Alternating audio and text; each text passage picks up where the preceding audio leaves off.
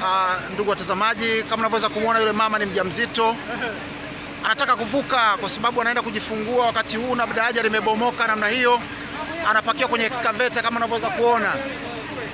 Yes, lakini tunashukuru juhudi za serikali zikiendelea kufanya kazi.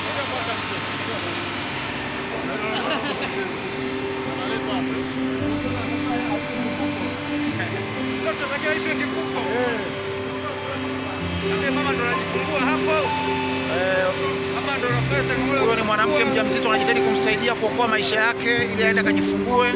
Hili sio la mtendaji wa kata, anatakiwa aje yeye mwenyewe. Yeye anaongea kule ofisini, tukimpigia kama wananchi anaona kama na dharau, lakini sio dharau hizi.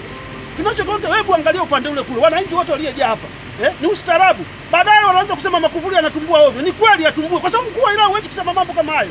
Hebu namwagiza mkuu wa kata nani, nani, mtendaji wa kata, mtendaji wa kata, hebu aje afanye nini hapa eh, wakati yeye yuko pale ofisini, si aje aone wananchi wanavyoteseka.